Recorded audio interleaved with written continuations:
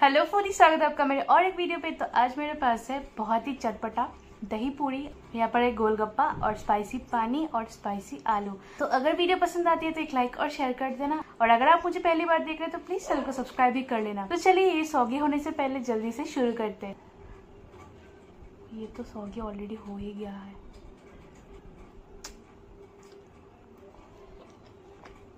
हम्म।